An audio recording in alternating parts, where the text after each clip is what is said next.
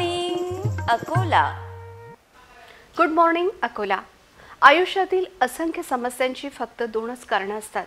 एकतर आपण विचार न करता कृती करतो किंवा कृती करण्याऐवजी फक्त विचार करत बसतो.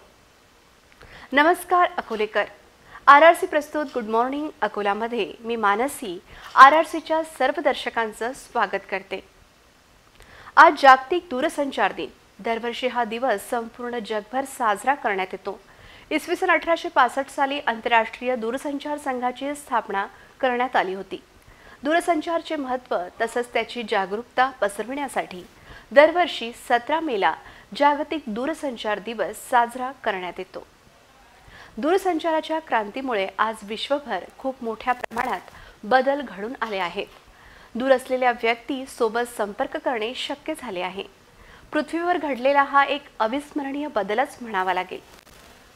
या व्यतिरिक्त आज इतिहास काळात ब्रिटिशकालीन भारतातील सर्वात मोठी घटना घडली होती. मराठा आणि ब्रिटिश सरकारच्या ईस्ट इंडिया कंपनी यांच्या सात वर्षापासून सुरू असलेले पहिले मराठा इंग्रज युद्ध महाजी शिंदे यांच्या मध्यस्थीने सातारीचा तह करून संपले. हे युद्ध जवळपास सात वर्ष सुरू होते.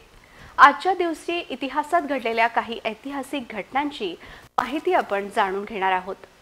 तसंच जगातील काही विशिष्ट व्यक्तींचे जन्मदिन निधन आणि त्यांचे शोधकार्य याबद्दल संपूर्ण माहिती जाणून घेणार आहोत.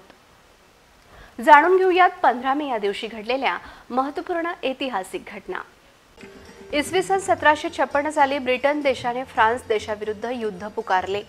इसवी सन अठराशे पासष्ट साली आंतरराष्ट्रीय दूरसंचार संघाची स्थापना करण्यात आली होती. त्याची स्मृती म्हणून सर्वप्रथम विश्व दूरसंचार दिवस साजरा करण्यात आला.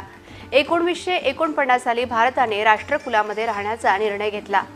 सन एकोणवीसशे नव्वद साली जागतिक आरोग्य संघटनेने आजारांच्या यादीमधून समलैंगिक मानसोपचार आजारास काढून टाकले. दोन हजार चार साली अमेरिकेतील मॅसेच्युसेट्स हे राज्य समलिंगी लग्नाला कायदेशीर परवानगी देणारे जगातील सहावे कार्यक्षेत्र बनले. शून्यालाही देता येते किंमत. फक्त त्याच्या पुढे एक होऊन उभे राहा. दर्शकांनो आपण आत्ताच आजच्या दिवशी घडलेल्या ऐतिहासिक घटना जाणून घेतल्यात. आता जाणून घेऊयात पंधरा मे या दिवशी झालेले जन्मदिवस जयंती वाढदिवस. इसवी सन सतराशे एकोणपन्नास साली देवीच्या लसीचे जनक इंग्रज शरीरशास्त्रज्ञ डॉक्टर एडवर्ड जेन्नर यांचा जन्मदिन. अठराशे पासष्ट साली पद्मभूषण पुरस्कार सन्मानित भारतीय महाराष्ट्र राज्यातील मराठ्यांच्या तीन खंडांचा इतिहास इंग्रजीमध्ये लिहिणारे महाराष्ट्रीयन इतिहासकार गोविंद सखाराम सरदेसाई यांचा जन्मदिन. इसवी सन अठराशे अठ्याहत्तर साली मुंबई प्रांताचे पहिले भारतीय राज्यपाल व महाराज हरिसिंह यांच्या कारकिर्दीतील जम्मू काश्मीर प्रांताचे पंतप्रधान व जोधपूरचे दिवाण कपूरथला राजघराण्याचे राजा हरनाम सिंह यांचे पुत्र महाराजा सिंह यांचा जन्मदिन. अठराशे पंच्याण्णव साली भारतीय आसामी इतिहासकार नाटककार निबंधकार आणि लघुकथा लेखक नकुलचंद्र भोयाण यांचा जन्मदिन. एकोणवीसशे चौतीस साली अमेरिकन इलेक्ट्रॉनिक्स उद्योगातील निवृत्त व्यावसायिक तसंच अमेरिकन संगणक कंपनी ॲपलचे सहसंस्थापक रोनाल्ड वेन यांचा जन्मदिन. सन एकोणवीसशे पंचेचाळीस साली भारतीय क्रिकेट संघातील फिरकी गोलंदाज माजी भारतीय क्रिकेटपटू भागवत सुब्रमण्यम चंद्रशेखर यांचा जन्मदिन. एकोणीसशे एकावन्न साली सुप्रसिद्ध भारतीय गझल गायक पंकज उदास यांचा जन्मदिन. एकोणीसशे एकोणऐंशी साली सुप्रसिद्ध भारतीय मराठी चित्रपट अभिनेत्री मुक्ता बर्वे यांचा जन्मदिन. समुद्रात किती लाटा आहेत हे महत्त्वाचे नसून त्या किनाऱ्याला किती स्पर्श करतात ते महत्त्वाचं असतं. अकोलेकरांनो तुम्ही आताच आजच्या दिवशी झालेले जन्मदिवस जयंती वाढदिवस याविषयी जाणून घेतले. आता जाणून घेऊयात पंधरा मे या दिवशी झालेले मृत्यू पुण्यतिथी स्मृतिदिन सन एकोणीसशे बहात्तर साली पद्मश्री पुरस्कार सन्मानित सुप्रसिद्ध भारतीय महाराष्ट्र राज्यातील शिल्पकार रघुनाथ कृष्णा फडके यांचे निधन. दोन हजार नऊ साली सुप्रसिद्ध भारतीय चित्रपट दिग्दर्शक आणि निर्माता प्रकाश मेहरा यांचे निधन. सन दोन हजार चौदा साली पद्मभूषण पुरस्कार सन्मानित भारतीय हॉटेल व्यावसायिक व उद्योजक तसंच हॉटेल लीला समूहाचे संस्थापक सी पी कृष्णन नायर यांचे निधन. अकोलेकरांनो आपण आताच आजचे दिन विशेष जाणून घेतले आता वेळ झाली आहे आजचे राशी भविष्य जाणून घेण्याची. जाणून घेऊयात आजचे राशी भविष्य पंडित सुदर्शन शर्मा यांच्या बरोबर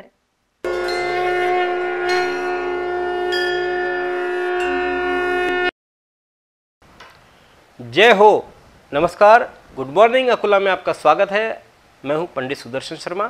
आइए जानते हैं, मंगलवार 17 मई 2022 को 12 राशियों का संदेश हमें क्या मिल रहा है? सबसे पहले देखते हैं मेष राशि।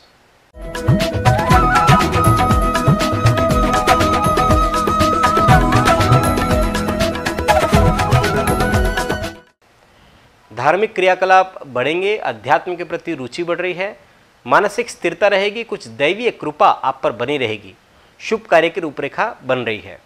वृषभ।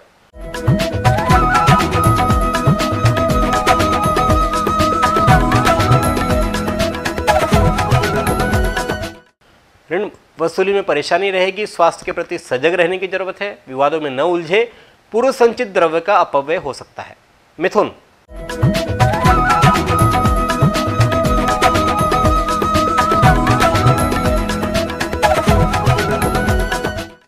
परिवार में महत्वपूर्ण निर्णय लिए जा सकेंगे, पार्टनर का पूरा सपोर्ट मिलेगा, आपकी मान्यता और विचार लोगों में सराहे जाएँगे। कर्क।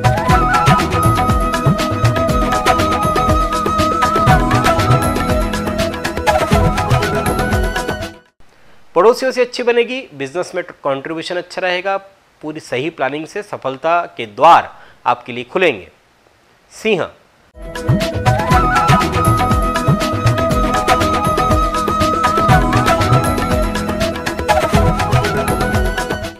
आप नए लोगों से मिलकर बेहद खुश होंगे, यही अवसर है जब आप अपने आप को साबित करने की ज़रूरत है। कन्या।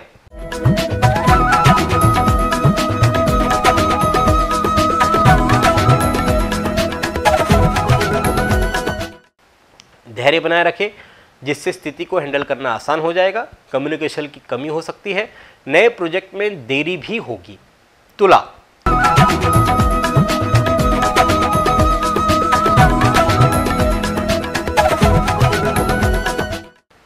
चीर प्रतीक्षित समाचार सुनने को मिलेंगे, आर्थिक योजना को बल मिलेगा, विद्या बुद्धि का लोहा आप मनवाएँगे। वृश्चिक, रुके।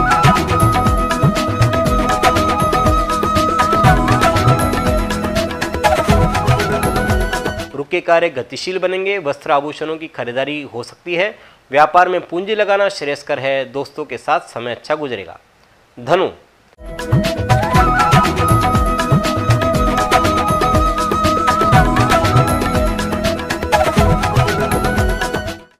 धैर्यवान बने, लोगों में महत्वपूर्ण माने जाएँगे। स्वयं को मेंटेन करें। रूटीन काम होते चले जाएँगे। मकर।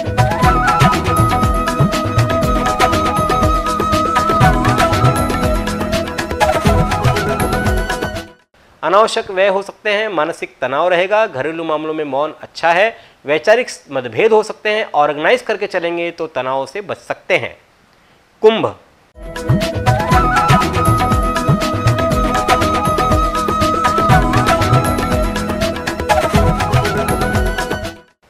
किसी पुराने प्रोजेक्ट पर देरी हो सकती है, जो देर और फिर फिर से काम शुरू होने के आसार बन सकते हैं।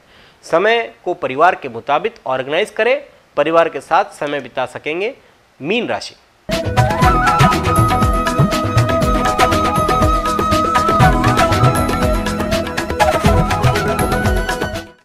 रचनात्मक कार्य बन रहे हैं। राजकीय सेवारत की पदोन्नति इच्छित स्थान पर हो सकती है। लंबित योजनाओं को मूर्त रूप दे सकते हैं। हाई प्रोफ़ाइल लोगों से मिलने का सुअवसर भी आपको मिल सकता है।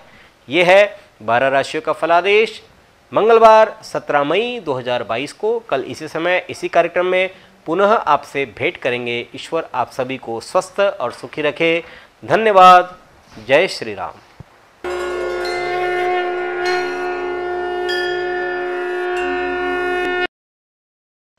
दर्शकांनो आम्ही रोज तुम्हाला आर आर सी प्रस्तुत गुड मॉर्निंग अकोलामध्ये राशी भविष्य सांगत आहोत. आता जाणून घेऊयात आजच्या हेल्थ टिप्स अनेकांना बोटे मोडण्याची सवय असते. कित्येकदा घाबरून किंवा कंटाळून बोटे मोडत असतात.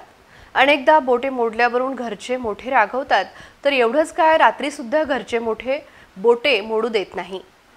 हे एकदा दोनदा ठीक आहे मात्र वारंवार तुम्ही असे करत राहिलात तर ती सवय होऊन जाते. पण तुम्हाला माहिती आहे का बोटे मोडणे तुमच्या आरोग्यासाठी किती वाईट आहे? जाणून घ्या बोटे मोडण्याचे दुष्परिणाम. या सवयीमुळे तुम्हाला सांधेदुखीचा त्रास सतावू शकतो. वारंवार बोटे मोडल्याने बोटांमध्ये ताण येतो. यामुळे हाडांना जोडणारे लेगामेंटचे सिक्रेशन कमी होऊ लागते. यामुळे हाडे एकमेकांशी रगडू लागतात. सतत बोटे मोडल्याने बोटांच्या सांध्यांना सूज येते. वारंवार तुम्ही बोटे मोडत असाल तर ही सांध्याची सूज अधिकच वाढते. त्यामुळे बोटांना स्पर्श केल्यासही बोटे दुखू लागतात. बोटे मोडण्याची सवय अशी सोडवा. हातामध्ये कायम पेन अथवा नाणे ठेवा. हातामध्ये रबर ठेवा. तुमचे हात कायम व्यस्त राहतील. याशिवाय डॉक्टरांचा सल्ला अवश्य घ्या. उत्तम आरोग्याला नसते कशाचीही तोड म्हणून आरोग्यावर द्या विशेष भर. अकोलेकरांनो आम्हाला तुमच्या हेल्थची काळजी आहे बरं. म्हणूनच आम्ही रोज तुमच्यासाठी हेल्थ टिप्स सांगत असतो. फक्त या हेल्थ टिप्स फॉलो करण्याआधी डॉक्टरांचा सल्ला घ्यायला विसरू नका. वेळ झाली आहे छोट्याशा विश्रांतीची. विश्रांतीनंतर पुन्हा इथेच भेटूया. कोरोना संकटात वर्क फ्रॉम होम असो की विद्यार्थ्यांचे ऑनलाईन एज्युकेशन वीस वर्षांपासून विश्वसनीय नाव आर आर सी ब्रॉडबँड आता आमच्या घरच्या सर्वांसाठी सुपरफास्ट इंटरनेट सेवा.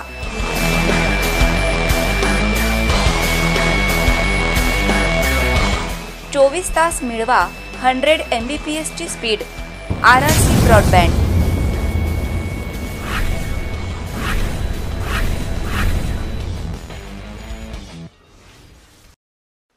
कशाला वाया घालवता तुमचे आयुष्य? चांगले आरोग्यासाठी द्या स्वतःकडे लक्ष. विश्रांतीनंतर आर आर सी प्रस्तुत गुड मॉर्निंग अकोलामध्ये खूप खूप स्वागत. आता शिकूयात योग. श्रद्धा मोकाशी मॅडम यांच्याबरोबर. हरिओम.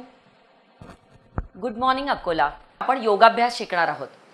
योगाभ्यास शिकवण्याकरता मी सौ श्रद्धा श्रीधर मोकाशी इथे आलेली आहे. आपण रोज रोज थोडा थोडा वेगवेगळा अभ्यास आपण शिकणार आहोत.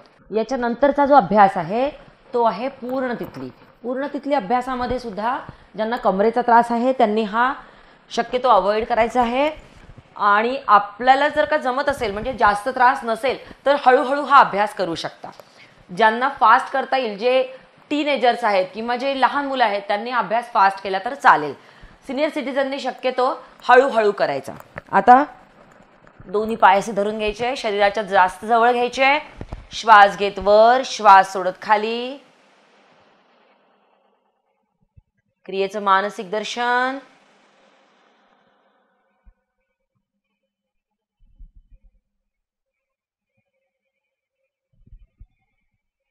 आता ज्यांना कमरेमध्ये त्रास नाहीये आणि जे यंग आहेत त्यांनी ही फास्ट करता येते क्रिया. ती कशी करायची ते सांगते. श्वास सुद्धा याच्यामध्ये जोडायचा आहे आणि फास्ट क्रिया पण करायची आहे.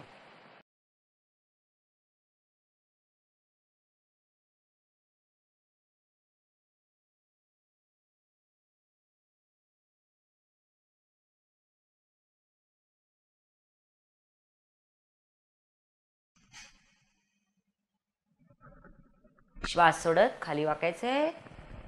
ज्यांना कमरेचा त्रास आहे त्यांनी वाकू नये.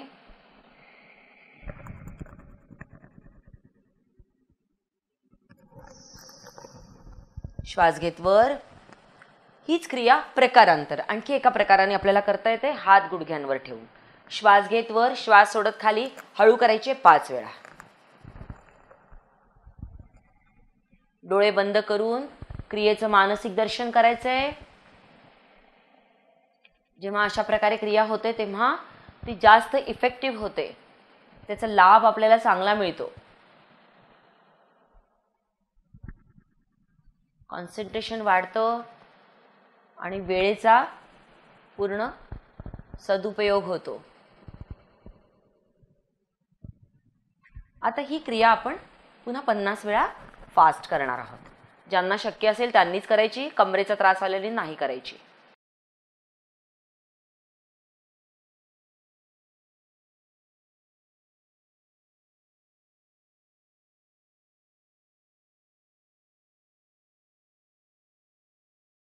आज गुडघ्यांवर ठेवून खाली वाकायचं आहे. श्वास सोडत सोडत हळूहळू.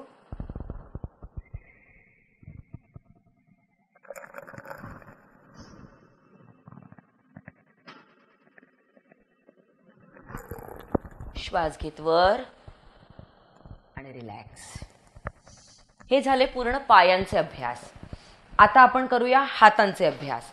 कारण की पायांसोबत हातांचे पण जॉईंट्स आहेत ना ते पण फ्री झाले पाहिजे. तर या क्रियेकरता आपल्याला पाय सरळ करून सुद्धा बसता येतं आणि मांडी घालून सुद्धा बसता येतं. ज्यांना जे शक्य असेल त्यांनी ते करायचंय. सिद्धासनात सुद्धा बसू शकता. हातांचा अभ्यास करूया. मुष्टिका बंद.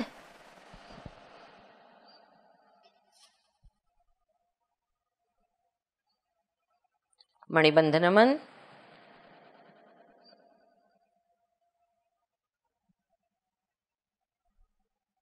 मणिबंध चक्र.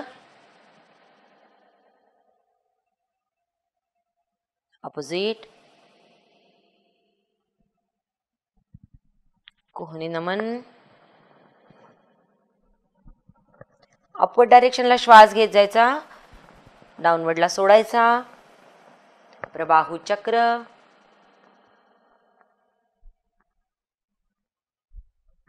अपोजिट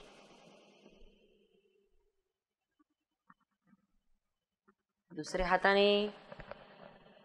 सगळ्या क्रिया पाच पाच वेळा करायच्या आहे. अपोजिट द्विस्कंद चक्र. बोट जोडून खांद्यांवर ठेवायची आहे. आणि डोपरांना नेहमी समोर जोडण्याचा प्रयत्न करायचा आहे. वर घेताना श्वास घ्या खाली आणताना श्वास सोडा. किंवा फिरवणारा अभ्यास आंतरकुंभकमध्ये करू शकता. अपोजिट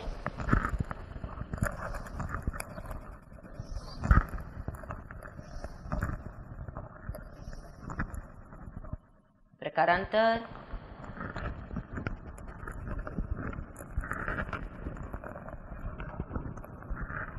अपोजिट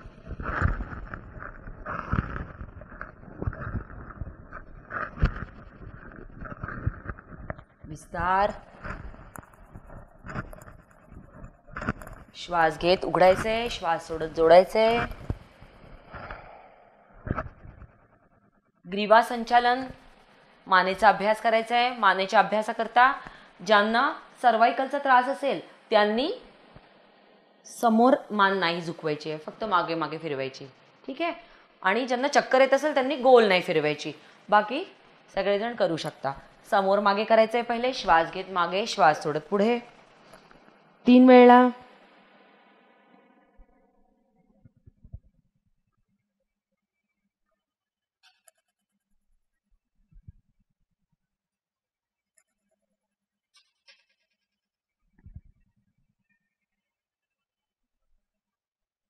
साईड साईड करायचंय. मध्यभागी श्वास घ्यायचा साईडला श्वास सोडायचा.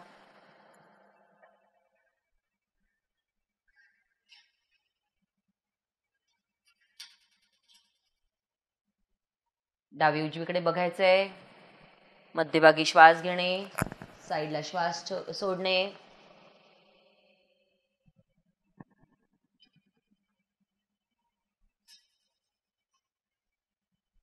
ज्यांना चक्कर येत असेल त्यांनी गोल फिरवणं टाळायचंय. कानाचा स्पर्श खांद्यांना करत. दोन्ही बाजूनी तीन तीन वेळा फिरवायचंय.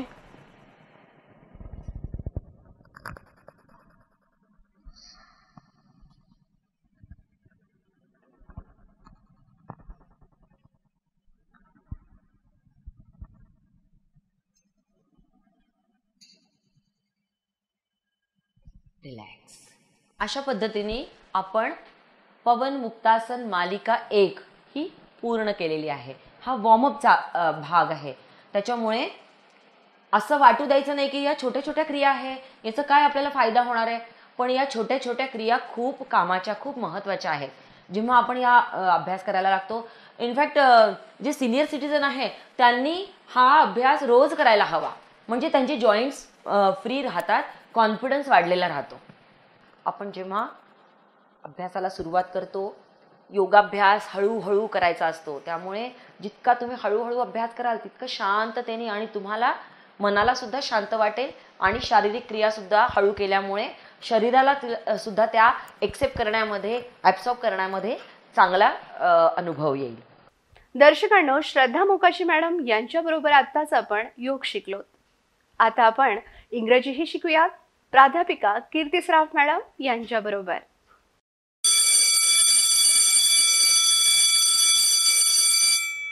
नमस्कार मित्रांनो मी कीर्ती सराफ इंग्लिश स्पीकिंग सेशनमध्ये आपल्या सगळ्यांचं स्वागत करत आहे. गेले पाच सहा दिवस झाले आपण इंग्लिश स्पीकिंगचे सेशन घेत आहोत आणि तुम्ही दिलेल्या भरभरून प्रतिसादाबद्दल मी सगळ्यांचे धन्यवाद मानू इच्छिते. Thank you so much all the viewers for giving आज सच नाईस कमेंट्स इतक्या छान छान प्रतिक्रिया तुमच्या येतात आहे. त्यामुळे आम्हाला uh, चा अजू अजून चांगलं काम करण्यासाठी प्रोत्साहन मिळत आहे. Your comments are really giving us the encouragement to do better and better तुमचे आपके जो प्रतिसाद आ रहे आपके जो कमेंट्स आ रहे इसकी वजह से हम लोग uh, हमारे इंग्लिश स्पीकिंग सेशन को और अच्छा करने की कोशिश कर रहे हैं। दोस्तों, हमने अभी तक सीखा है आई के बारे में ही शीट के बारे में दे वी यू के बारे में सीखा है। आज हम लोग फिर से दो नए कंस्ट्रक्शन सीखने वाले हैं। That is I like and I love yes मैंने पहले भी बताया आपको, सबसे ज़्यादा इम्पोर्टेंट कौन है? दुनिया में सबसे ज़्यादा इम्पोर्टेंट आप खुद हो। मी स्वतः इम्पॉर्टंट है। आप है तो जहान है। येस हम है तो जहान है। येस तर आजच्या जे कन्स्ट्रक्शन आहे आज या पुन्हा आपल्या स्वतःच्या बाबतीतच आहे. आपण दोन नवीन कन्स्ट्रक्शन शिकणार आहोत. That is I like I love I like म्हणजे मला आवडतं. आय लव म्हणजे मला खूप आवडतं. ओके असा त्याचा अर्थ आहे. आता आपण त्याचे वाक्य बनवूयात. आता तुम्ही आठवा की तुम्हाला काय काय आवडतं. ओके आणि त्याचे काय करायचे आपल्याला कंपोज करायचे सेंटेन्सेस आय लाईक रीडिंग मला वाचन करणं आवडतं. आय लाईक स्विमिंग मला स्विमिंग करायला आवडतं, पोहणं आवडतं. आय लाईक कुकिंग मुझे खाना बनाना अच्छा लगता है. आई लाइक वॉचिंग मूवीज़ मुझे पिक्चर देखना बहुत पसंद है. I like talking with my friends मुझे मेरे फ्रेंड्स से बातचीत करना बहुत ज़्यादा पसंद है. आई लाइक प्लेइंग क्रिकेट मुझे क्रिकेट खेलना बहुत पसंद है. I like I like clicking photos मुझे फ़ोटो निकालना बहुत पसंद है. आई लाइक कार्टून नेटवर्क मुझे कार्टून नेटवर्क बहुत पसंद है. आई लाइक पिज़्ज़ा मुझे पिज़्ज़ा बहुत पसंद है. आई लाइक पानी पूरी मुझे पानी पूरी पसंद है. आई लाइक माई मदर मुझे मेरी माँ बहुत पसंद है. I like my sun allot मुझे मेरा बेटा बहुत पसंद है. Yes I like your dress I like your attire मुझे आपका जो ड्रेस है वो बहुत पसंद है. आई लाइक ब्लू कलर मुझे ब्लू कलर बहुत पसंद है. आई लाइक रेड कलर मुझे रेड कलर बहुत पसंद है. आई लाइक एलिफेंट मुझे एलिफेंट बहुत पसंद है. आई लाइक अ पैरट मुझे पैरट ये पंछी बहुत पसंद है. तोता. आई लाइक स्पॅरोज मुझे म, मला चिमण्या खूप आवडतात. I like I like roses मुझे गुलाब के फूल बहुत पसंद है। आई लाइक फ्लावर्स मुझे फ्लावर्स बहुत पसंद है। आई लाइक परफ्यूम्स मुझे परफ्यूम्स बहुत पसंद है। आई लाइक एक्सेसरीज मुझे अलग अलग एक्सेसरीज बहुत पसंद है। शी लाइक्स ज्वेलरी उनको ज्वेलरी बहुत पसंद है। तो हम लोग आई के बारे में बात करें तो हम लोग आई के बारे में फिर से बात करेंगे। आ, आप आई की जगह ही शी इट भी चेंज कर सकते हो। मीन्स देखिए, अगर आपने एक कंस्ट्रक्शन सीख ली तो आप दूसरे भी कंस्ट्रक्शन आई की जगह उसको रिप्लेस कर देंगे ही शी इट को। तो अनगिनत सेंटेंस आप बना सकते हैं। देखिए, पाँच दिन में आप thousands of sentence you can compose सिर्फ़ पाँच दिन हो गए आपको, लेकिन दो चार ही कंस्ट्रक्शन मैंने पढ़ाए हैं बट आज आप ऐसे हो कि पहले दिन आपको इंग्लिश नहीं आता था, आप इंग्लिश से डरते थे, आपका कॉन्फिडेंस लो था, लेकिन आज आप थाउजेंड्स ऑफ़ सेंटेंस आप आज हज़ारों सेंटेंस मन से लिख पा रहे हो विदाउट एनी हेजिटेशन आज आपको कुछ भी हिचकिचाहट नहीं है, आज आपको इंग्लिश का डर नहीं है और आज आप बहुत हैप्पीली इंग्लिश सीख रहे हो विदाउट एनी टेंशन आज तक कैसा था? आपको, आपके ऊपर थोड़ा टेंशन था, डर था मन में? आज आप without any hesitation without the fear of English you are speaking you are writing you are talking आज आपके मन में कोई भी डर नहीं है। और यकीन मानिए दोस्तों, अगर ऐसा ही चलता रहा तो अकोला के सारे सिटीजन्स बहुत अच्छा इंग्लिश बोलने लगेंगे। आपको देने हैं बस रोज़ पंद्रह मिनट आरआरसी के साथ ओके तो ये पंद्रह मिनट आपको खुद के लिए निकालना है और जैसा मैं हमेशा बोलती हूँ what is the most important thing in the world वो आप खुद है ओके और ये जो पंद्रह मिनट है, वो आपके खुद के लिए है, खुद की ग्रोथ के लिए है ओके तो हमने पहली कंस्ट्रक्शन पढ़ी है that is I like I like means मुझे पसंद है अभी मुझे बहुत पसंद है, मुझे उससे प्यार है, वो बहुत प्यारा है ओके okay? उसके लिए बोलेंगे आई लव जो लाइक से भी थोड़ा ज़्यादा रहता है ओके okay? बहुत पसंद है उसको I like you a lot मुझे आप पसंद हो I love you I love you means आप मुझे बहुत ही ज़्यादा पसंद हो, पसंद से भी ऊपर ओके okay? तो I love okay I love my mother मैं मेरे माँ से बहुत प्यार करती हूँ आई लव फ्लावर्स मुझे फूल बहुत पसंद है. आई लव परफ्यूम्स मुझे परफ्यूम्स बहुत पसंद है. आई लव ज्वेलरी मुझे ज्वेलरी बहुत पसंद है. आई लव टीचिंग मुझे टीचिंग करना बहुत पसंद है. आई लव रीडिंग मुझे रीडिंग बहुत पसंद है. आई लव ट्रैवलिंग मुझे ट्रैवलिंग करना बहुत पसंद है. I like driving a car मुझे कार ड्राइविंग करना बहुत पसंद है. I like shopping a lot yes मुझे शॉपिंग करना बहुत पसंद है। अभी पसंद है और बहुत पसंद है तो आई लव रिप्लेस कर देना है। लाइक like के जगह पे आपको बस लव रिप्लेस कर देना है जो चीज़ आपको बहुत पसंद है। तो जब आप आपका खुद का परिचय देते हो और जब आपके, आप खुद के बारे में दूसरों को बताते हो तो जनरली ये लाइक एंड लव ये कंस्ट्रक्शन आती है। I I love my sister a lot मैं मेरे बहन से बहुत प्यार करती हूँ।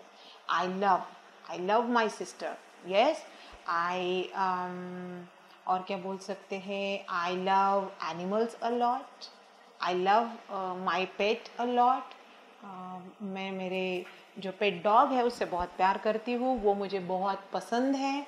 Yes then I love my profession a lot मैं मेरे काम से बहुत ज़्यादा प्यार करती हूँ। Yes so I hope you understand the difference between I like and I love okay जो चीज़ आपको पसंद से भी बहुत ज़्यादा पसंद हो, उसके लिए आपको लव यूज़ करना है। जो पसंद है, उसके लिए आपको लाइक like यूज़ करना है। तो जब आप आपका इंट्रोडक्शन देते हो, आपके बारे में किसी को बताते हो, तब आपको ये दो कंस्ट्रक्शन बहुत काम में आएँगे। आई की जगह आप अगेन मैं बता रही हूँ आई की जगह he she it they we you का इस्तेमाल कर सकते हो। ठीक है? लाइक ही लाइक्स चॉकलेट्स उसको चॉकलेट बहुत पसंद है। शी लाइक्स डॉग्स उसको डॉग्स बहुत पसंद है। Uh, सिर्फ़ एक नोट डाउन करना है कि ही शी इट जब हम इस्तेमाल करते हैं तो लाइक like और लव को एस लगाना पड़ता है। मैंने नोट मीन्स uh, आपने अगर ध्यान से सुना होगा I he she likes chocolates उसको चॉकलेट्स बहुत पसंद है। तो मैंने लाइक like को एस लगाया था। ही लाइक्स डॉग्स उसको डॉग बहुत पसंद है। लाइक्स ओके तो एस लगाना है उसको, इतना ध्यान। इट लाइक्स बिस्किट्स मेरे, मेरा जो पेट डॉग है, उसको बिस्किट्स बहुत पसंद है। Yes then he likes non veg उसको नॉन वेज खाना बहुत पसंद है। Then he likes red colour उसको रेड कलर बहुत पसंद है। दे लाइक स्वीट्स उनको मीठा खाना बहुत पसंद है। Then they like going for outing उनको बाहर जाना बहुत पसंद है। लेडीज़ के बारे में अगर बात करेंगे दे लाइक शॉपिंग लेडीज़ को बहुत ज़्यादा शॉपिंग पसंद रहती है। तो सभी लेडीज़ को क्या बोलेंगे, हम लोग दे दे लाइक शॉपिंग उनको शॉपिंग करना बहुत पसंद है। And she likes jewellery a lot she loves jewellery yes loves every lady love jewellery yes तो उसके लिए आप लिखेंगे my wife likes jewellery a lot yes and I love to do shopping मुझे शॉपिंग करना बहुत पसंद है। तो this is all about love and like yes जो आपको बहुत पसंद है, बहुत प्यारा लगता है आपको चीज़ें उसके लिए लव इस्तेमाल करो आई लव और जो आपको पसंद है जो चीज़ें करना उसके लिए आई लाइक इस्तेमाल कीजिए। And this is all about today session kindly revise the sentences kindly note down the sentences जो मैं आपको पढ़ाती हूँ, उसको रोज़ रिविजन कीजिए। जो सेंटेंसेस मैं आपको बताती हूँ, उसको बार बार सुन के आप उसको नोट डाउन करके रखिए, ताकि आप जब उसको मिरर के सामने रिवाइज करोगे तो आपको याद आएगा। अगर आप लिख के नहीं रखोगे तो आज आपको याद है, कल याद रहेगा बट पंद्रह दिन बाद या एक साल बाद आप भूल जाओगे। इसीलिए अगर आप लिख के रखोगे तो वो पूरे लाइफ टाइम आप कभी भी खोल के देख सकते हो, अगर आपको कुछ समझ में नहीं आ रहा तो। Thank you so much guys for listening me so patiently. Uh, you in you in episode uh, मुझे सुनने के लिए बहुत बहुत धन्यवाद। Uh, मिलते हैं कल के सेशन में। थैंक यू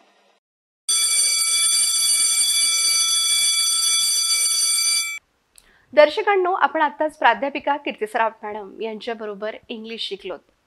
आता वेळ झाली आहे पुन्हा छोट्याशा विश्रांतीची.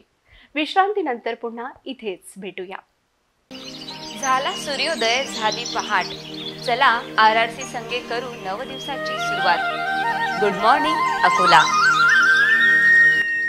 बेरोजगारांचा आशेचा किरण R R C job alert local ते global job alert city channel देईल अचूक माहिती. आर आर सी अकॅडमीच्या माध्यमातून घरच्या घरी किंवा तुमच्या मोबाईलवर इंग्लिश स्पीकिंग क्लास प्रगतीचे लक्ष माझे ध्येयासाठी धावपट सुखी असावा कास्तकार माझा. संगे आर आर सी अन्नदाताचे मार्गदर्शन. सकाळी करू योग अभ्यास. आरोग्याचा मंत्र जपूया. रोज सकाळी उठून योग नवा करूया. निरोगी जीवनासाठी आवश्यक योगाभ्यास. तज्ज्ञ योग गुरूंचे मार्गदर्शन. केवळ गुड मॉर्निंग अकोला या कार्यक्रमात. ठेवेल तुमचे आरोग्य निरोगी. कोरोना संकटानंतर प्रत्येकाची हेल्थ झाली आहे वेल्थ. सिटी चॅनल घेईल तुमच्या आरोग्याची काळजी. केवळ गुड मॉर्निंग अकोला या कार्यक्रमात.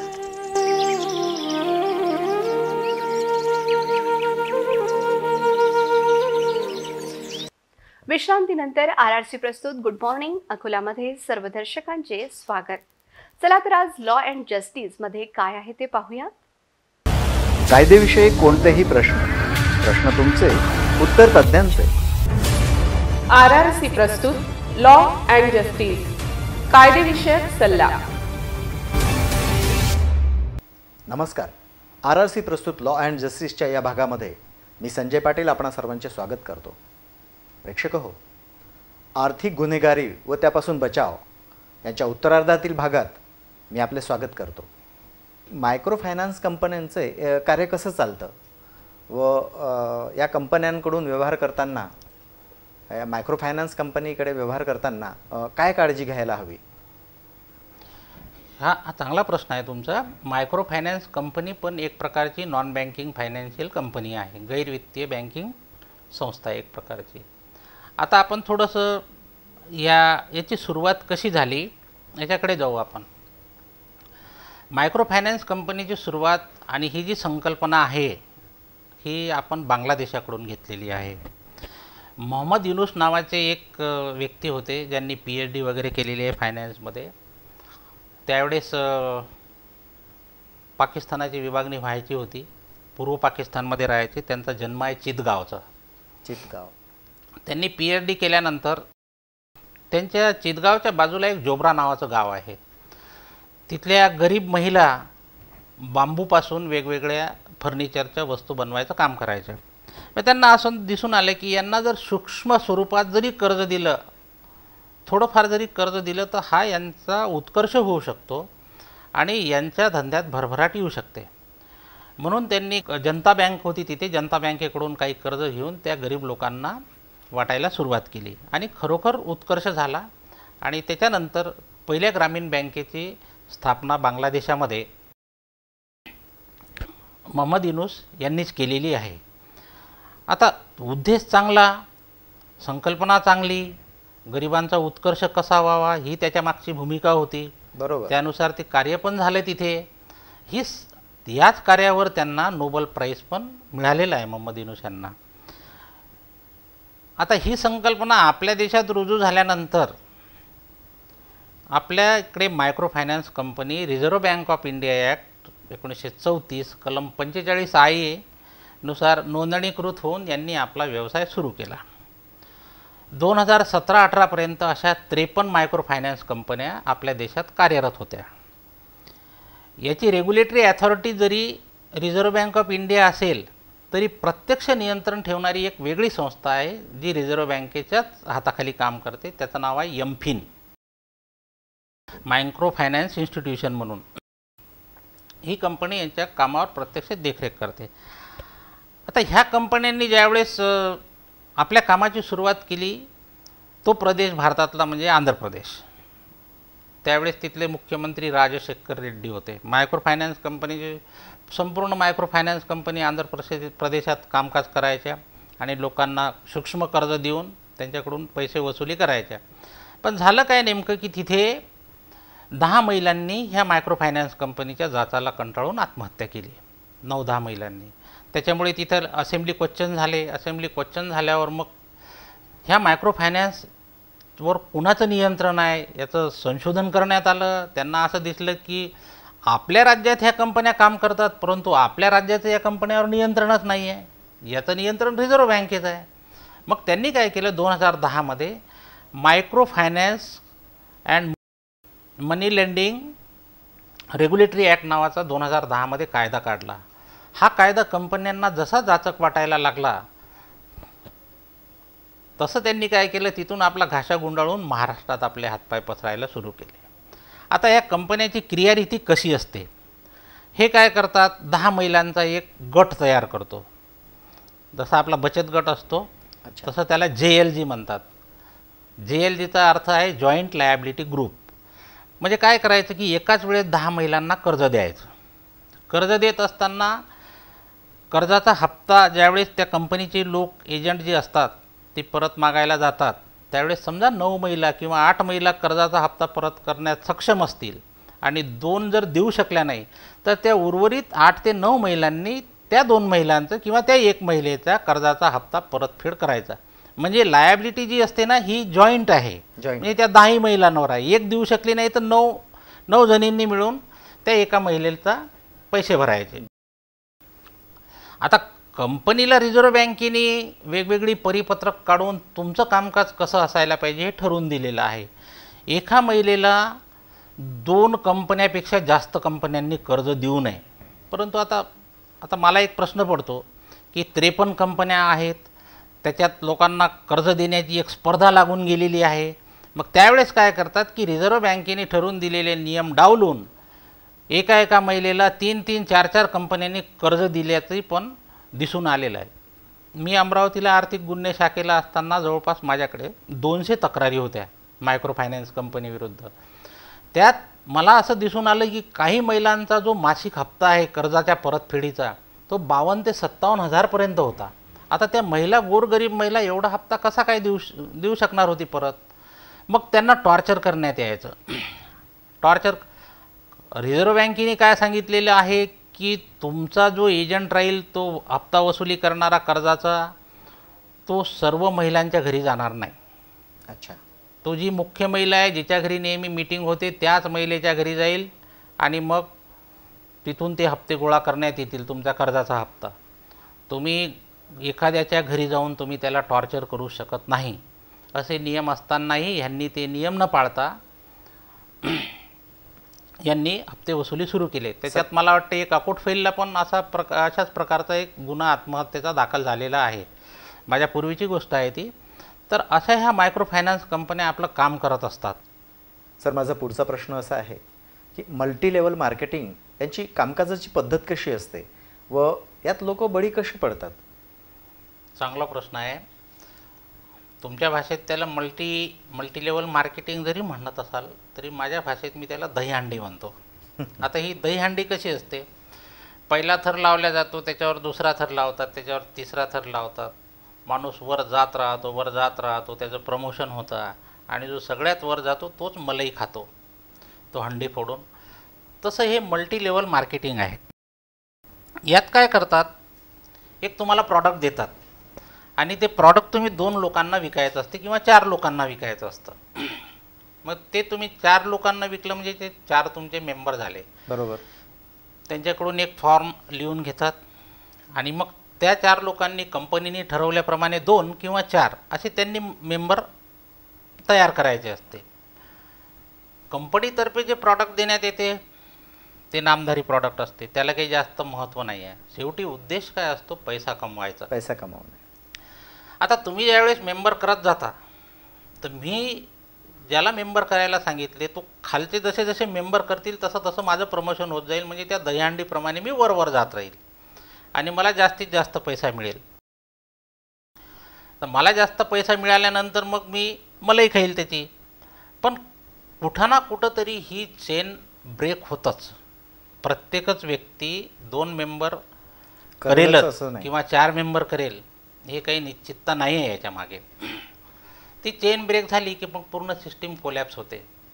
तर अशा प्रकारचा जो व्यवसाय आहे असा होऊ नये याकरिता एक एकोणीसशे अठ्ठ्याहत्तरमध्ये कायदा अस्तित्वात आलेला आहे.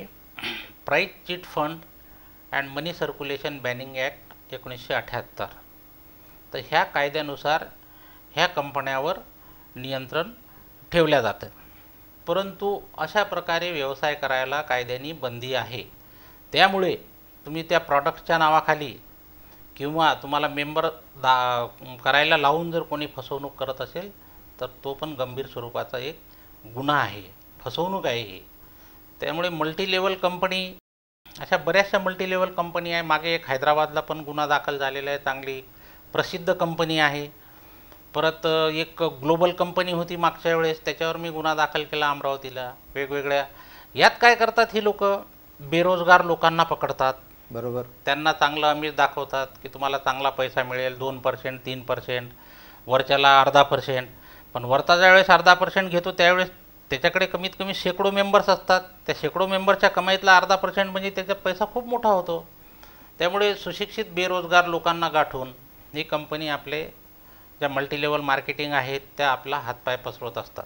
त्याच्यामुळे जनतेनी अशा मल्टीलेवल कंपनीच्या आणि मेंबर करणाऱ्या कंपनीकडे बिलकुल आकर्षित न होता स्वतःची फसवणूक करून घेऊ नये. दुसरा एक थोडासा विषय आपण बी सीचा पण घेऊ. हा जो बी सी आहे बरोबर बरोबर. या या बी सीचं ॲक्च्युली बी सी नाव कसं पडलं हे मला माहीत नाही. ॲक्च्युली ते व्ही सी आहे ते. व्हॉलेंटरी कॉन्ट्रीब्युशन किंवा त्याला दुसऱ्या भाषेत लोक ब्रदर कॉन्ट्रीब्युशन पण म्हणतात बी सी बरोबर. हा सर्रास चालणारा वेगवेगळ्या कार्यालयात वेगवेगळ्या मोहल्ल्यात चालणारा उद्योग आहे. आता आपल्या देशामध्ये कुठलीही एखादी आर्थिक जर संस्था काम करत असेल किंवा अशा आर्थिक उलाढालीची जर काम करत असाल कुठलीही कंपनी तर त्यावर नियंत्रण ठेवणारी शासनाची कुठली ना कुठली तरी संस्था अस्तित्वात आहेच. बरोबर.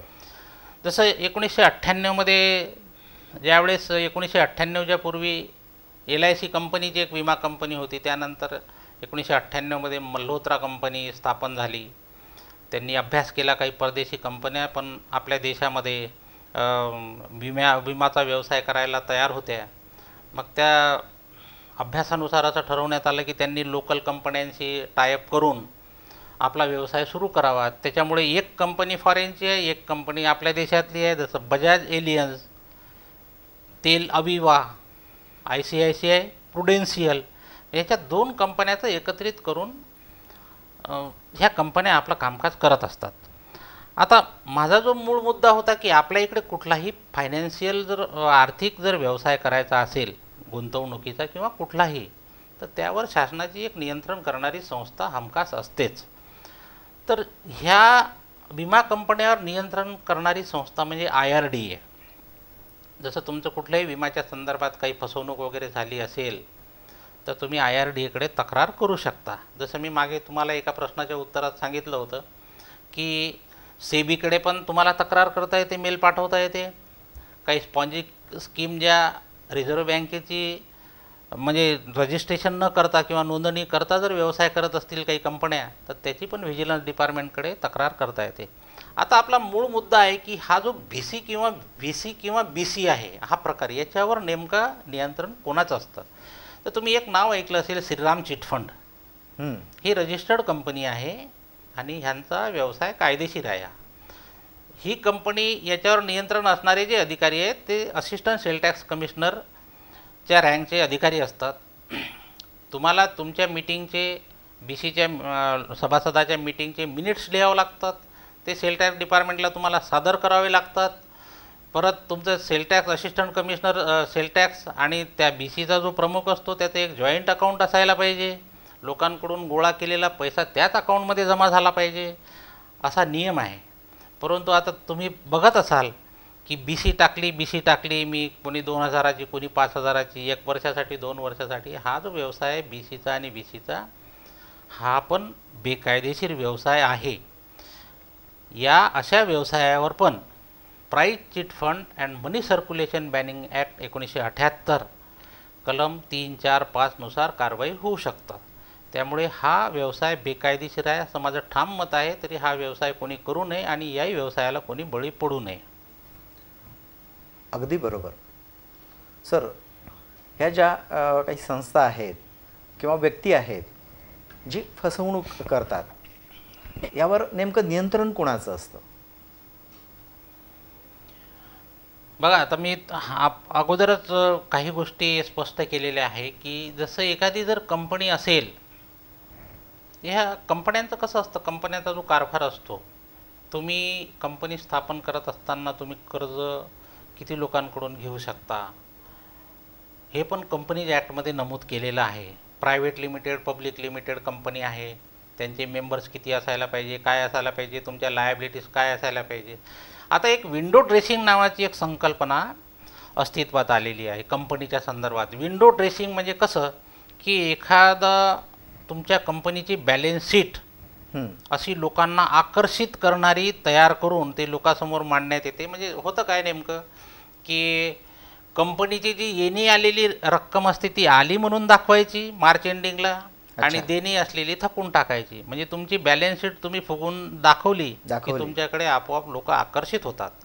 ह्या गोष्टीला विंडो ड्रेसिंग हा शब्द या संदर्भात अस्तित्वात आलेला आहे. त्यामुळे कंपन्याच काय करतात? रजिस्टर्ड ऑफ कंपनीकडे नोंदणी करून घेतात. त्यांना ऑडिट रिपोर्ट तुमचा सादर करावा लागतो. आता मला एक सांगा तुम्ही जे इन्कम टॅक्स रिटर्न भरताय किंवा तुम्ही जे कंपनीला ऑडिट रिपोर्ट पाठवता का ह्या सगळ्या ऑडिट रिपोर्टची पडताळणी होत असेल का? इन्कम टॅक्सचं जे तुम्ही भरता इन्कम टॅक्स रिटर्न तर याचं सी पी सी म्हणून सेंट्रल प्रोसेसिंग सेंटर आहे एक. तिथे फक्त काही दोन पाच टक्के लोकांचे रिटर्न्स काढून पडताळणी करण्यात येते. त्याच्यावरून मग पुढील कारवाई होत असते. रजिस्टर्ड ऑफ कंपनी या कार्यालयामध्ये कमी स्टॉप असल्यामुळे ते इतक्या साऱ्या कंपन्यांचं ऑडिट रिपोर्ट तर पडताळून पाहणार नाही. परंतु एखाद्या कंपनीने जर आपला नफा एकदमच जास्त दाखवला किंवा कंपनी एकदम बुडीत खात्याकडे चालली तर अशा कंपनीचे ऑडिट रिपोर्ट काढून मात्र ते पडताळणी करत असतात. सर यासाठी कायदे कोणते असतात? हां यासाठी कायदे आहेत. यासाठी काही जसं कंपनीज ॲक्ट आहे ज्याचा पोलीस खात्याशी संबंध नाही परंतु एखादी कंपनी अस्तित्वात येत असताना त्यांनी रजिस्टर्ड ऑफ कंपनीकडे जर नोंदणी केली नाही आणि ती कंपनी व्यवसाय करत असेल तर त्या कंपनीचा उद्देश लोकांना फसवण्याचाच आहे. असं आपण समजायला हरकत नाही. मग पोलिसांनी तपास करताना काय करायला पाहिजे की रजिस्टर्ड कंपनीला रजिस्टर्ड ऑफ कंपनीला पत्र पाठवून त्यांच्याकडून कंपनीचं मेमोरंडम ऑफ असोसिएशन घ्यायला पाहिजे? म्हणजे मेमोरंडम ऑफ असोसिएशनमध्ये त्यांनी लिहिलेलं असतं की ते नेमका कुठला व्यवसाय करणार आहेत? वास्तविक व्यवसाय जे करतात फील्डमध्ये तो व्यवसाय ते मेमोरंडम ऑफ असोसिएशनमध्ये दाखवत नाहीत. त्याच्यामुळे त्यांचा मूळ उद्देश हा लोकांना फसवणूक करण्याचाच होता असं पण आपल्याला दिसून येतं. त्याच्यामुळे आता सर्वसामान्य जनता गुंतवणूक करत असताना मला नाही वाटत की ते एखाद्या कंपनीला त्याचा ऑडिट रिपोर्ट मागेल म्हणून. त्यांनी काय मागायला पाहिजे? की तुम्ही गुंतवणूक स्वीकारता किंवा तुम्ही एखादी कंपनी जर लोकांना कर्ज देते तर ह्या दोन गोष्टी प्रामुख्याने बघणं आवश्यक आहे. एक भारतीय रिझर्व्ह बँक कायदा एकोणीसशे चौतीसचे कलम पंचेचाळीस आय एनुसार ही कंपनी रिझर्व्ह बँककडे नोंदणीकृत आहे किंवा नाही. रिझर्व्ह बँकेचं त्यांनी पत्र पाहायला पाहिजे. नोंदणीचं रजिस्ट्रेशनचं पत्र पाहायला पाहिजे. दुसरी गोष्ट रजिस्टर्ड ऑफ कंपनीजकडे त्यांनी जे रजिस्ट्रेशन केलेलं आहे तिथं त्यांना एक सिन नंबर मिळत असतो. तो नंबर सिन नंबर प्रत्येक डायरेक्टरचा वेगवेगळा असतो तो सीन नंबर पाहायला पाहिजे तो खरा आहे का नाही वेबसाईटवर तुम्ही तो सीन नंबर जरी टाकला तरी ती कंपनी कोणत्या नावाने रजिस्टर आहे हे तुम्हाला दोन मिनटात समजेल. आजकाल इंटरनेट आणि हे जे कॉम्प्युटरचं युग असल्यामुळे तुम्हाला शोधायला काही वेळ लागत नाही. त्यामुळे तुम्ही तुमच्या गुगल सर्चवर सीन नंबर जरी टाकला तर ते कोणत्या डायरेक्टरचा सीन नंबर आहे हे पण तुम्हाला रजिस्टर्ड ऑफ कंपनीकडून ताबडतोब मिळते. परंतु तुम्हाला जर रजिस्टर्ड ऑफ कंपनीजकडून मेमोरंडम ऑफ असोसिएशन आणि इतर कागदपत्र जर मागायचे असतील तर त्यासाठी तुमचं रजिस्ट्रेशन तुम्ही लॉग इन त्या कंपनीसाठी व्हायला पाहिजे. त्याचे काही मग चार्जेस आहे.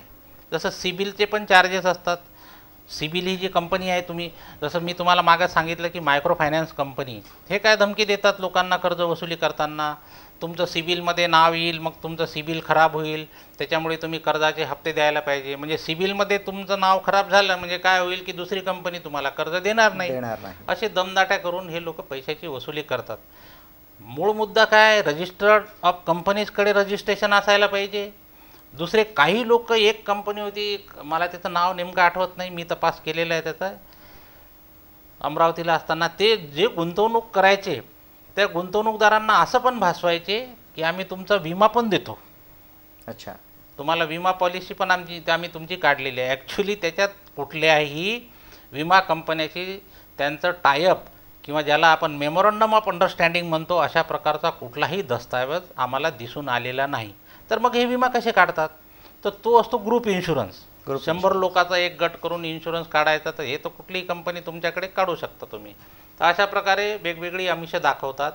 त्याच्यामुळे एखादी कंपनी तुम्हाला पॉलिसी जर देत असेल विमा पॉलिसी गुंतवणूकदारांना आम्ही इतकी रक्कम देऊ काही कमी जास्त झाल्यास तर ते पण तुम्ही मेमोरंडम ऑफ अंडरस्टँडिंग सदर विमा कंपनीसोबत झालेलं आहे का नाही हे पण पडताळून पाहायला पाहिजे. रिझर्व्ह बँकेचं रजिस्ट्रेशन तर फारच आवश्यक आहे. आणि रजिस्टर्ड ऑफ कंपनीजकडे ते यांची नोंदणी झालेलीच असते. पॅन कार्ड श्री श्रीसूर्या श्री सूर्या श्री सूर्या तर रजिस्टर्ड ऑफ कंपनीकडे रजिस्टर पण नव्हती. वासनकर इन्व्हेस्टमेंट कंपनी रजिस्टर्ड आहे. परंतु रिझर्व्ह बँकेकडे रजिस्टर नाही. तर फार महत्त्वाचा दस्तऐवज म्हणजे गुंतवणूक स्वीकारणाऱ्या कंपनीने रिझर्व्ह बँक ऑफ इंडियाची परवानगी आणि नोंदणी त्या बँकेकडे असणं अत्यंत आवश्यक आहे. तोच दस्तऐवज मुख्य दस्तऐवज आहे. बरोबर. प्रेक्षकांनी सगळ्या जनतेने गुंतवणूक करताना त्यांची आर्थिक फसवणूक होऊ नये. म्हणून काय खबरदारी घ्यावी? याविषयी आपण काय सांगाल चांगला प्रश्न आहे हा. लोकांनी अशा कंपन्यांपासून अवेअर असणं फार आवश्यक आहे. तुमचा मेहनतीचा पैसा असतो. गुंतवणूक करायचा अधिकार तुमचा आहे. परंतु तत्पूर्वी मी हे सांगाल की तुम्ही गुंतवणूक करत असताना कंपनीच्या कामकाजाची माहिती करून घ्यायला पाहिजे. कंपनी मोठे मोठे सेमिनार भरवून जर सेलिब्रिटी आणत असतील आणि त्यांचे सूटबूटमधले जे कोऑर्डिनेटर असतात यांच्याकडे तुम्ही त्या लालचीला बळी पडू नका. त्यांचं फाईव्ह स्टार ऑफिसकडे अजिबात बळी पडू नका. तुम्ही दस्तऐवज मागायला पाहिजे त्यांना की तुम्ही ही गुंतवणूक करण्याची परमिशन रिझर्व्ह बँकेकडून घेतली आहे का? तुमच्या मेमोरंडम ऑफ असोसिएशनमध्ये ह्या गोष्टी नमूद केलेल्या आहेत का? ह्या सगळ्या गोष्टीची सगळ्या कागदपत्राची पडताळणी करूनच सुज्ञ नागरिकांनी गुंतवणूक करावी. नाहीतर मागच्या वेळेस एक गुन्हा झाला होता बघा मैत्रीय मैत्रीचा एक गुन्हा झाला होता. त्या गुन्ह्याबद्दल मी एक नाशिकला जो प्रकार झाला तो काही जास्त सविस्तर सांगणार नाही. परंतु एम पी आय डी जो गुंतवणूकदाराचे हितसंबंधाचा संरक्षण करणारा जो एकोणीसशे नव्याण्णवचा कायदा आहे तर त्या कायद्यानुसार तुम्हाला संरक्षण दिलेलं आहे तुमच्या गुंतवणुकीचा परतावा मिळेल. परंतु ही जी पद्धत आहे ही अतिशय क्लिष्ट आणि किचकट आहे. त्यात शासनाला तुम्हाला अटॅच केलेल्या प्रॉपर्टीच्या कंपनीचा अहवाल सविस्तर पाठवावा लागतो. त्याच्यानंतर राज्य शासन उपजिल्हाधिकारी या दर्जाच्या अधिकाऱ्याची कॉम्पिटंट अथॉरिटी म्हणून नेमणूक करतो. ती नेमणूक झाल्यानंतर याच कायद्याच्या कलम पाचनुसार त्यांना एक ॲफिडेविट कोर्टात न्यायालयात सादर करावं लागते. त्याच्यानंतर न्यायालय नोटिसेस काढते. त्यानंतर जी अटॅच केलेली प्रॉपर्टी आहे तिची विक्री किंवा हराशी करून ती गुंतवणूकदारांना पैसे देण्याची पद्धत ह्या कायद्यामध्ये नमूद आहे. परंतु ही वेळ आपल्यावर येऊ नये. त्यामुळे मी स सांगितल्याप्रमाणे कंपनी जर गुंतवणूक स्वीकारत असेल किंवा कर्ज देत असेल तुम्हाला तर त्याला रिझर्व्ह बँकेची परवानगी मात्र अत्यावश्यक आहे मॅन्डेटरी आहे ते. रजिस्टर्ड ऑफ कंपनीकडे आजकाल कोणीही ऑनलाईन रजिस्टर करू शकतो. त्याच्यामुळे त्यांना प्रमाणपत्र मिळालं त्याच्यावर राजमुद्रेचा फोटो आहे म्हणजे ती कंपनी सरकारी आहे. असं चुकूनही समजू नका. तुम्हाला परवाना मिळाला त्याच्यावर राजमुद्रा असणारच रजिस्टर्ड ऑफ कंपनीच्या प्रमाणपत्रावर. म्हणजे ती कंपनी सरकारी होत नाही. त्यांनी रजिस्ट्रार कं ऑफ कंपनीजकडे जे मुद्दे सांगितलेले असतात त्या मुद्द्याच्या व्यतिरिक्त ते व्यवसाय करत असतात लोकांकडून गुंतवणूक स्वीकारत असतात हॉटेल बुकिंगच्या नावावर व्यवसाय करतात. परंतु तुमचे पैसे ज्यावेळेस मॅच्युरिटी होते त्यावेळेस तुम्हाला व्याजासहित ते परत देतात. ही सगळी फसवणूक आहे. अशा कंपन्यांपासून अवेअर राहायला पाहिजे माणसांनी गुंतवणूकदारांनी. कंपनीचे सगळे दस्तऐवज पाहण्याचा तुम्हाला अधिकार आहे. कंपनीबद्दल तुम्हाला काही शंका असेल तुम्ही ऑनलाईन पण त्याची चौकशी करू शकता. रिझर्व्ह बँकेकडे व्हिजिलन्स डिपार्टमेंट आहे. सेबीकडे तुम्ही ईमेलवर जर कंपनीचे कागदपत्र पाठवले तर सेबी पण तुम्हाला तिकडून कळवू शकतं मेलद्वारे ही कंपनी कशी आहे काय आहे. सेबीच्या वेबसाईटवर किती कंपन्या बोगस आहेत याची पण तुम्हाला माहिती मिळते. बऱ्याचशा कंपन्या काय करतात की आता मैत्रे प्लॉटर्स अँड स्ट्रक्चर नावाची एक स मैत्रे ग्रुपची एक कंपनी होती. कंपनी म्हणजे एक स्कीम होती. ती स्कीम बंद पाडल्यानंतर त्यांनी काय केलं त्याच प्रकारची नाव बदलून एक दुसरी स्कीम अस्तित्वात आणली. पॅन कार्ड क्लबच्या गुन्ह्यामध्ये पण असं दिसून आलेलं आहे की शासनाने म्हणजे सेबीने ज्या ज्या त्यांच्या स्कीमला बंदी टाकलेली होती त्या स्कीमचं नाव बदलून त्यांनी ती स्कीम परत सुरू केलेली होती दुसऱ्या नावाने. त्याच्यामुळे तुम्ही सेबीकडे पत्रव्यवहार केला किंवा सेबीच्या वेबसाईटवर तुम्हाला बंद पडलेल्या आणि रजिस्टर्ड ऑफ कंपनीच्या वेबसाईटवर तुम्हाला बंद पडलेल्या सर्व कंपन्यांची माहिती मिळते. मेल आय डी पण त्यांचा मिळतो तक्रार कुठं करायची हे पण आहे पण ही तक्रार फसवणूक झाल्यानंतर करण्यापेक्षा तुमची फसवणूकच होऊ नये यासाठी तुम्ही संपूर्ण कागदपत्राची पडताळणी करून तुम्ही आयुष्यभराची मेहनत करून कमावलेला पैसा फसवणूक झाल्यावर एखाद्या कंपनीच्या खाशात घशात तुम्ही टाकू नये एवढंच माझं सांगणं आहे. त्यामुळे संपूर्ण गोष्टीची पडताळणी करूनच गुंतवणूक करावी अशी माझी नागरिकांना नम्र विनंती आहे. अगदी बरोबर सर. आपण आज इथे आलात. मार्गदर्शन केलं आमच्या प्रेक्षकांना. त्याबद्दल मी आपले आभार व्यक्त करतो. दर्शकांनो आत्ताच आम्ही तुम्हाला लॉ अँड जस्टिस या कार्यक्रमात कायद्याची माहिती सांगितली. आता तुमच्याकरिता एक खुश खबर आहे. आर आर सी प्रस्तुत गुड मॉर्निंग अकोला आणि सिटी मैत्री या कार्यक्रमात सामान्य नागरिकांना सुद्धा टी व्हीवर झळकण्याची संधी आम्ही देत आहोत. संपूर्ण माहिती जाणून घेण्यासाठी आर आर सीच्या हेल्पलाईन नंबरवर संपर्क करा. हेल्पलाईन नंबर आहे आठ चार आठ चार आठ चार दोन एक तीन पाच. तसेच अकोलेकरांनो आमच्या सर्व सोशल मीडियाला फॉलो करा सबस्क्राईब करा लाईक करा. तोवर नमस्कार.